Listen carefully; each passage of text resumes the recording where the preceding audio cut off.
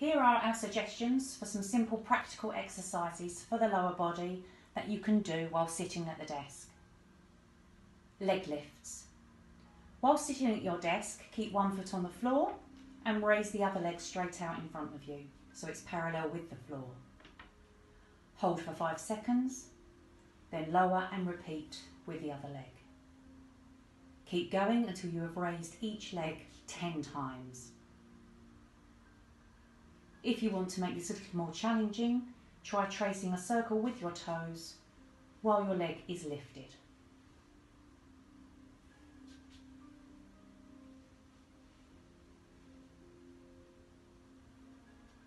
Ankle flexes.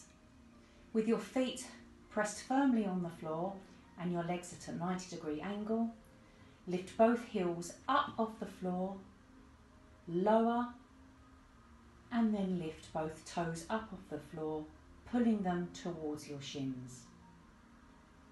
Try to keep a steady rocking motion going.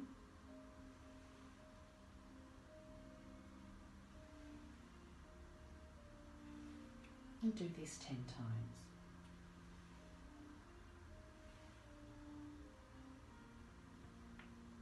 Calf stretches. Stretch your legs out in front of you with your feet hovering just above the ground.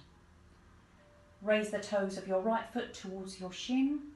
Bending your ankle, you should feel your calf muscles stretch. Simultaneously stretch the toes on your left foot towards the ground.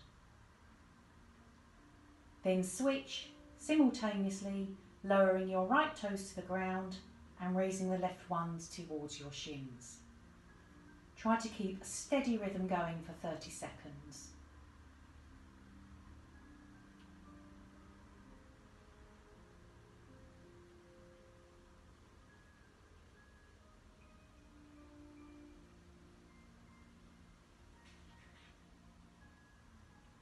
Toe wiggles. While sitting at your desk, wiggle your toes whilst maybe not as challenging as other exercises, just by keeping your toes moving will encourage good circulation and a simple exercise to do.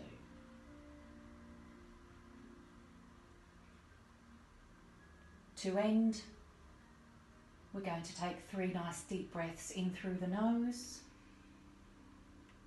and out through the mouth.